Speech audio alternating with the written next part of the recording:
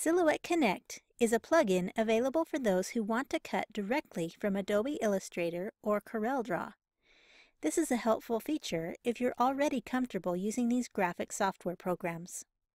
You can find the Silhouette Connect plugin on the Silhouette America software page. You need to purchase a license key, download and install the plugin, then activate the license with the key when prompted. At that point, you can send your design to your Silhouette machine directly from Adobe Illustrator or CorelDRAW without ever opening Silhouette Studio.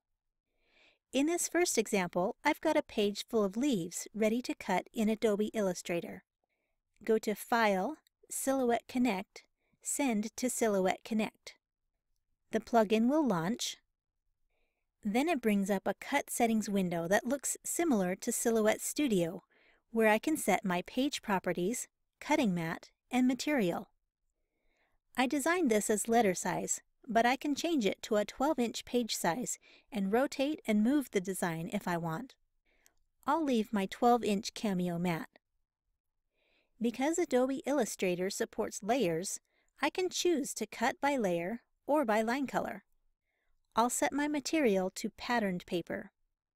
When the material is selected, I can adjust the settings if necessary.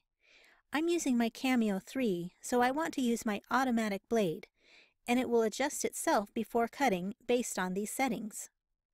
I can test cut if I need to, and with this design I don't need to touch any advanced settings. Click Start and it will send this document to be cut from my Cameo 3. Silhouette Connect also provides automated weed settings in this Weeding tab.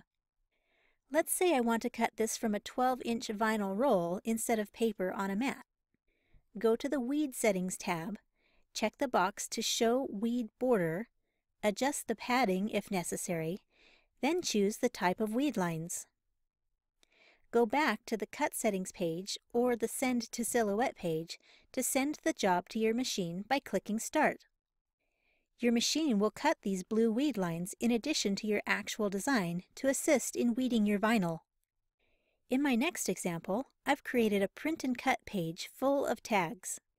Even though I'm in Adobe Illustrator, I can still add registration marks for my Silhouette machine to read after printing and before cutting. Go to File, Silhouette Connect, Silhouette Registration Marks. Turn the style to Type 1 for the Cameo, Portrait, or Curio, or the second choice for models older than that.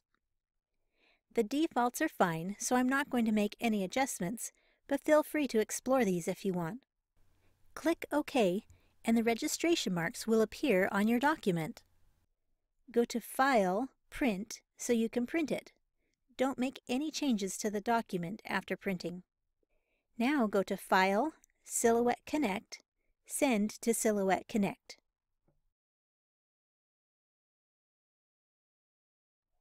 This time I need to make sure all those inner lines don't cut. I only want to cut around the outer oval edge.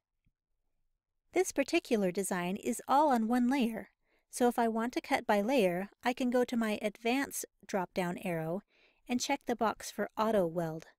That's the same thing as Cut Edge in Silhouette Studio. The inner words and designs disappear, which is good because it means those lines won't cut. The document has already printed, so I'm only worried about cut lines.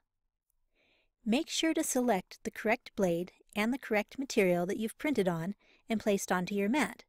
Make any adjustments as necessary.